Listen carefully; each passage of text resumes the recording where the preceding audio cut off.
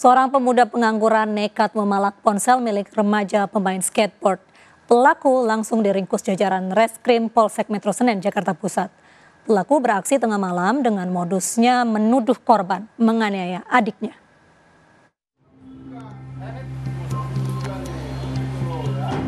PT Pemuda Pelaku Pemalakan terhadap seorang remaja pemain skateboard ini tak berkutik saat digelandang petugas ke Polsek Metro Senen, Jakarta Pusat.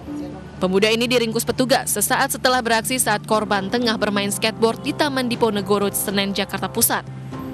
Modusnya dengan menuduh korban telah menganiaya adik pelaku hingga babak belur. Sambil menakut-nakuti korban akan dilaporkan ke polisi, pelaku kemudian merampas ponsel milik korban sebagai jaminan.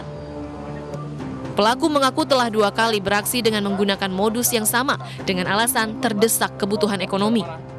Modus operandinya adalah para pelaku yang berjumlah dua orang ini dia mendatangi korban yang kebetulan waktu itu bertiga ya, dengan anak-anak kecil sedang bermain skateboard. Kemudian korban dituduh bahwasanya telah melakukan penganiayaan terhadap adik daripada pelaku.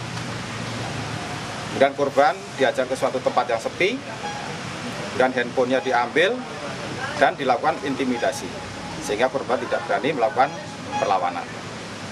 Itu yang kejadian awalnya. Dipalak ya Pak? Ya, dipalak.